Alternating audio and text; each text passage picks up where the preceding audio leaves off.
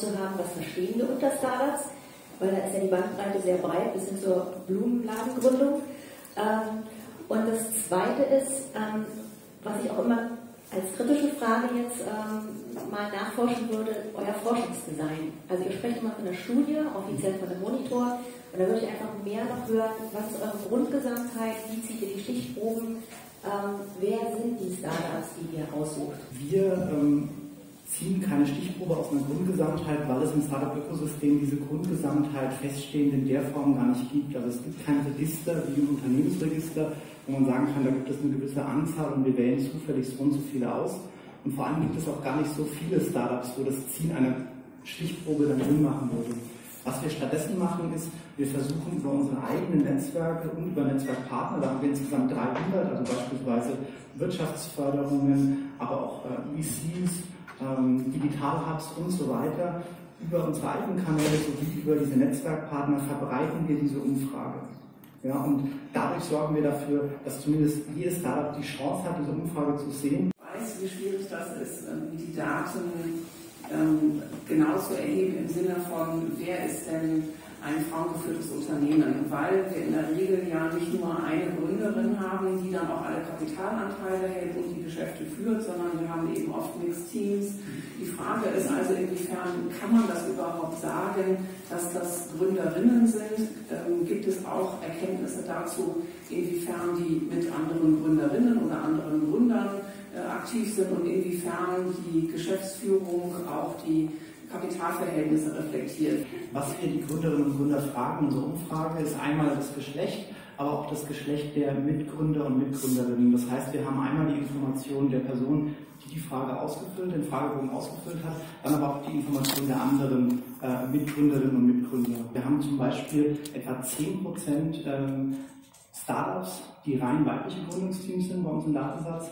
Äh, wir haben, ähm, glaube ich, 70 Prozent, ganz korrigiere mich, wenn ich falsch liege, äh, Teams, und das ist ein wahnsinnig hoher Anteil mit rein männlichen Gründungsteams, und wir haben ungefähr 20 Prozent ähm, Mixteams.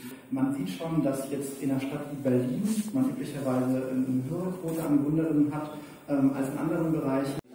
Es ist ja schon seit Jahren bekannt, dass Frauen da noch unterrepräsentiert sind. Wie ist denn das mit Fördermitteln? Hat sich das in den vergangenen Jahren verbessert? Sind da gute Maßnahmen getroffen worden? gerade von staatlicher Seite, aber auch hier in Berlin und die Unternehmen auch. Gucken die Interunternehmen stärker jetzt auf ähm, Startups, die von Frauen gefördert, äh, geführt werden? Gibt es da Erkenntnisse eurerseits? Also die Fördergelder sind auf alle Fälle verbessert worden insgesamt.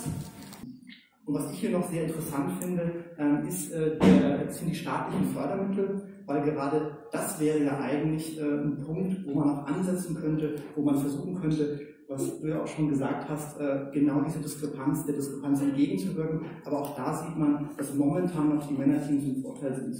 Weibliche Unternehmerin hat zwei Kinder und würde mir wünschen, dass das Elterngeld etwas unternehmerfreundlicher gestaltet wird. Also ich habe jetzt zwei Jahre einen Briefverkehr mit äh, der Elterngeldstelle und es wird wahrscheinlich darauf hinauslaufen, dass ich mein gesamtes Elterngeld zurückzahlen muss, weil ich das Problem habe, weil meine Firma war profitabel in der Zeit, in der ich in Elternzeit war. Also wir gehen davon aus, dass jedes Startup in den sechs Wochen von uns mindestens einmal genervt wird, wenn wir diese Umfrage durchführen. Ähm, woran liegt das, dass Frauen sich so schwer tun, Finanzierung zu finden? Dass wir sehen, dass ähm, die Startups von Frauen in der Tendenz äh, etwas jünger sind als die der Männer ähm, etwas kleiner noch sind, äh, frühphasiger und auch in Themenfeldern aktiv sind, die aus einer Venture Capital Brille vielleicht weniger äh, Skalierungspotenzial haben. Was wir in der Studie sehen, ist, dass ähm, die Gründerinnen-Teams mit den anderen Startups sehr gut vernetzt sind. Also da haben wir einen ähnlichen Anteil, äh, wie ihr seht, wie bei den Männerteams. Also die Vernetzung im Startup-Ökosystem scheint relativ gut zu funktionieren. Wo es noch Nachholbedarf gibt, ist bei der Vernetzung mit etablierten Unternehmen. Da sehen wir, dass die Männerteams deutlich erfolgreicher sind, sich hier irgendwie Kontakte aufzubauen, die dann eben häufig auch geschäftsrelevant sind. Wir sehen eben bei uns in der Studie, ähm, dass wir nur 7,3 ähm, Prozent der Gründerinnen-Teams haben, die mehr als 10 Mitarbeiter haben. Wenn wir uns anschauen, weshalb ähm, Frauen gründen, sehen wir, äh, dass es vor allem intrinsische Motivationsgründe sind, die Frauen antreiben. Ähm, es geht insbesondere darum, ähm, Unabhängigkeit ähm, und eine Herausforderung für sich zu definieren, ähm, die eigene Idee voranzutreiben. Es geht weniger stark darum, äh, Wohlstand zu generieren, sogar der, der Reichtum, der über die Gründung aus, ähm, ausgelöst werden kann mit hohem Risiko.